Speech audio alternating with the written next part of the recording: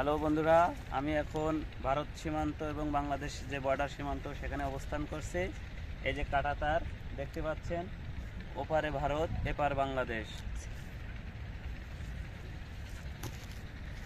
এই যে দেখতে পাচ্ছেন, সিলেটের সাদা পাথর অঞ্চলের বর্ডার ওই যে পাহাড় দেখা যাচ্ছে ভারতের।